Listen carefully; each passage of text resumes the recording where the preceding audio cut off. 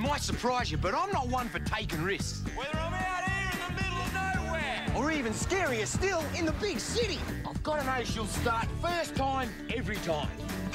That's why I only ever have my car serviced by Toyota. Fair income. Why would you risk your car to just any galah? You've just got to keep the feeling.